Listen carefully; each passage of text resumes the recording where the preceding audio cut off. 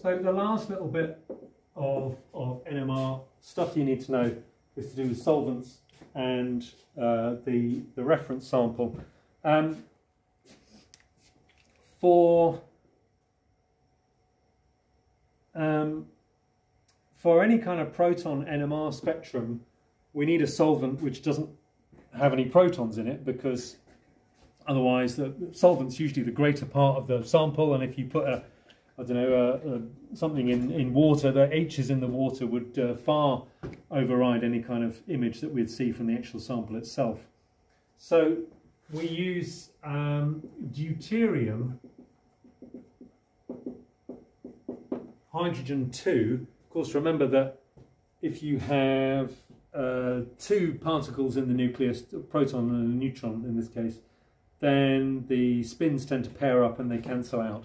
So uh, deuterium won't have any residual spin, therefore it won't take part in nuclear magnetic resonance. It won't give you a picture. Um, the symbol for deuterium, as well as hydrogen 2, is sometimes just written D. So if we had D2O, uh, that being the, the deuterated version of water, sometimes referred to as heavy water because it's got a formula mass of, uh, of, of, 20 instead of 18.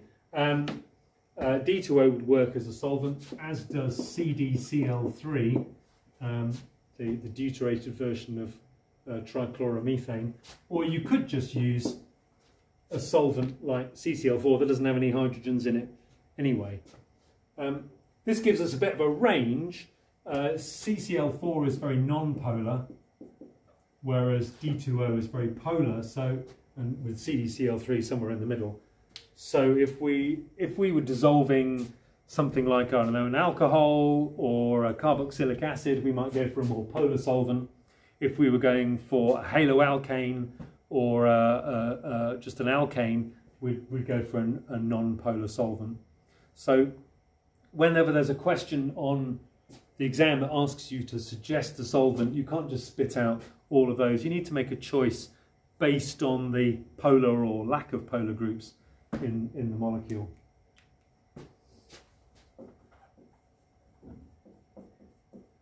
As well as the solvent, the other thing you put into the uh, the NMR spectrometer is a reference sample.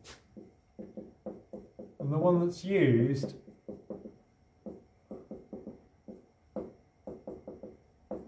is tetra methyl silane or TMS.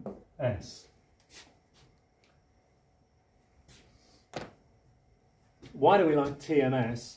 Well, for a start, it's uh, it's pretty non-toxic, but it's also unreactive.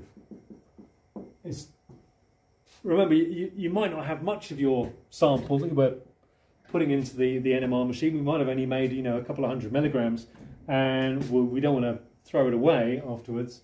So, uh, and we don't want it to react with uh, uh, anything. So we use uh, we use a reference sample that's not going to react with it. It's also fairly volatile, which means that it's easy to remove. Afterwards.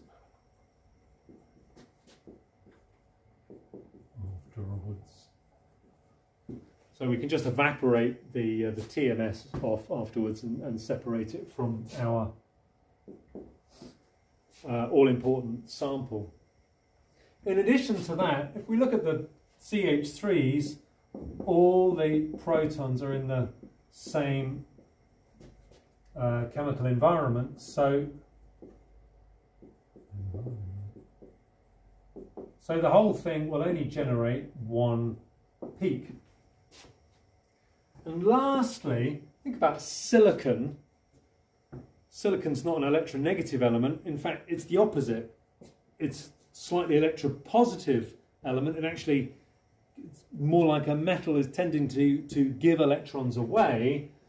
So in terms of deshielding, remember our deshielded uh, protons which are near electronegative atoms appear down this end of the spectrum. But if if it was electropositive, it'd be slightly more shielded. It's probably going to appear on, on the right there. In fact, by definition, Um,